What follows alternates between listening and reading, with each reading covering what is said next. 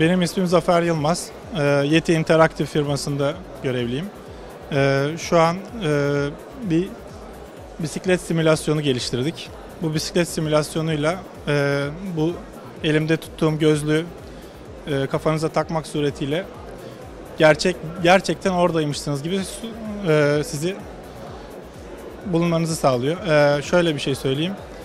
Mesela biz burada İstiklal Caddesi'ni modelledik. İstiklal Caddesi boyunca bisiklet kullanabilme deneyimi yaşatıyor size.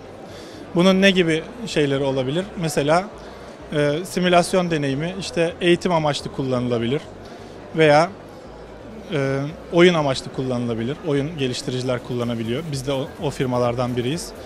E, veya emlak sektöründe mesela bir dairenin gezdirilmesi gibi amaçlarla kullanmayı hedefliyoruz. Evet, tescil ve patent açısından işte ilgili kuruluşlara başvurularımızı yapıyoruz. Onlarla yürüyoruz. Daha önce başka bir ürünle ilgili patent e, girişimimiz olmuştu. Bununla ilgili herhangi bir pa- patent girişimimiz şu an için yok ama tabii ilerleyen dönemlerde mutlaka yapacağız. Yani çok güzel çalışmalar gör- görüyoruz. Daha tamamını gezme fırsatım olmadı benim. İnşallah öğleden sonra daha çok gezeceğim. Ama iyi, çok güzel ciddi firmalar oluşmaya başlamış Türkiye'de görüyorum yani. İn- İnovasyon anlamında çok güzel şeyler var.